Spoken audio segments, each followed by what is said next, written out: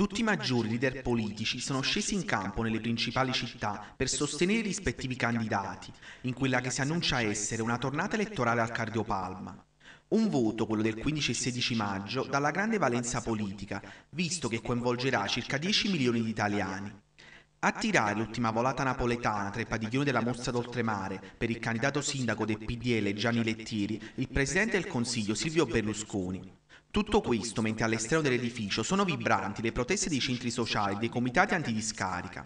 Sul versante opposto, l'Italia dei Valori di Pietro e dei Magistris per il rush finale, quello decisivo, sceglie invece la rotonda Diaz. Si chiude così tra scossoni e proteste, appelli e proclami, l'ennesima campagna infuocata, anzi senza ombra di dubbio al veleno.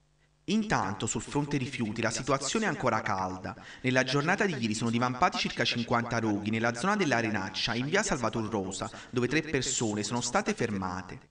Disagi anche a Pianura e Soccavo e più in generale in diversi quartieri della periferia occidentale.